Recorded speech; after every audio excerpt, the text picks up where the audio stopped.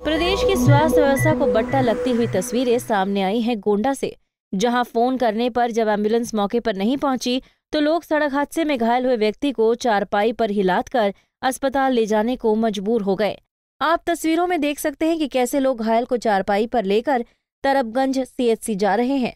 वहीं घायल को अस्पताल पहुँचाने वाले व्यक्ति ने बताया कि घायल पत्नी के साथ बाइक से जा रहा था, लेकिन कार से टक्कर के बाद गंभीर रूप से घायल हो गया।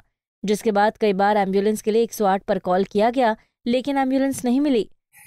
तारागंज स्वास्थ्य किसान सेवा केंद्र पेट्रोल पंप के सामने मोटरसाइकिल से पत्नी जा रहे थे, तभी अचानक एक कार आई। कार ने ठोकर मारकर चली गई और हमने देखा कि वो आदमी पत्नी सुधा सड़क पर गिर गए थे।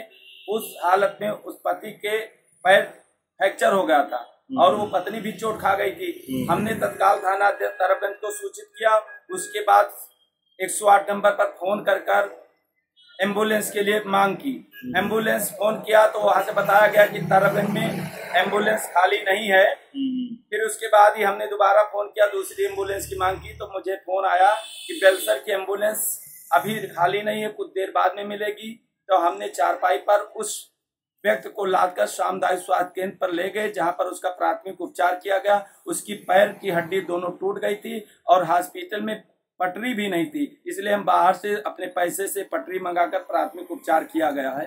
फ़िलहाल घायल को प्राथमिक उपचार के बाद जिला अस्पताल रेफर कर दिया गया है।